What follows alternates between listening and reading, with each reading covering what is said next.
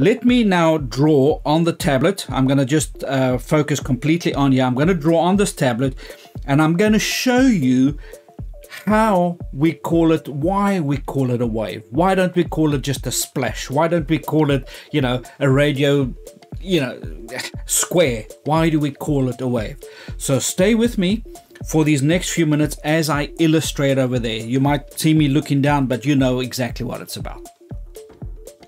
So let's imagine that this white line on screen is the actual surface of the water. Perfectly smooth, um, no ripples, no wind, no nothing. Okay? And here comes the log, and the log gets thrown into the water and it hits the water. What happens when it hits the water? Well, immediately waves are going out right from the center. Now what I'm going to do over here is I'm going to stick a big fat piece of paper over here, right? Because I want to map what is actually happening, the shape of a wave. So what happens? What happens when this wave over here hits the water? Let's call this time right that's time right so when the wave when the wave eventually hits over here what's going to happen? Well it's going to push the water right? It's going to push the water. So as it hits the paper that very first dot is going to be created then another dot. So let's say these are all hundredths of a second right? Hundredths of a second. As the water pushes through, right, that which is the peak is now moving in that direction. So all of this stuff is moving and I'm plotting it every one hundredth of a second.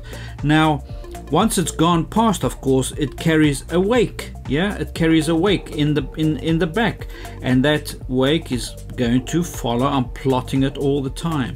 Now look what happens if I go in and I join that. It's a little bit difficult to draw, but look what happens.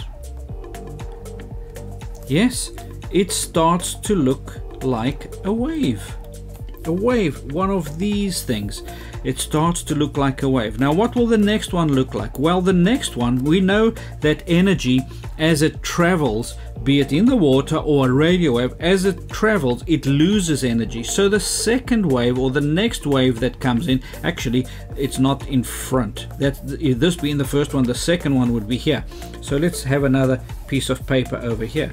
The second one, the wave would start, but you see what happens?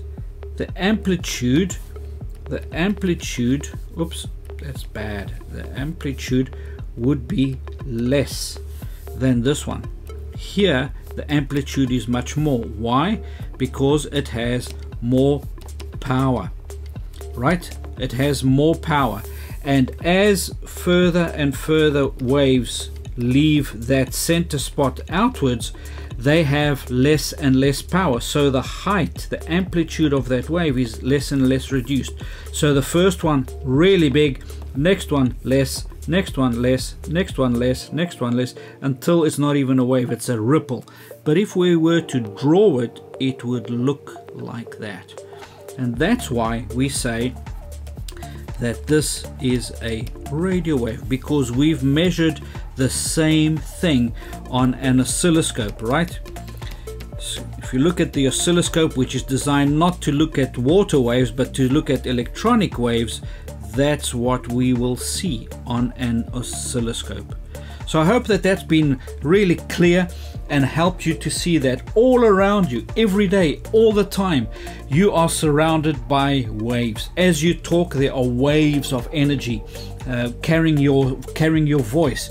You're listening to people around you talk. You are hearing waves of energy in this case, because it's in our frequency range, our ears, we, we translate that into pitch, our minds convert that into words, and we can understand what he's saying. So, easy explanation. I hope that that's been clear.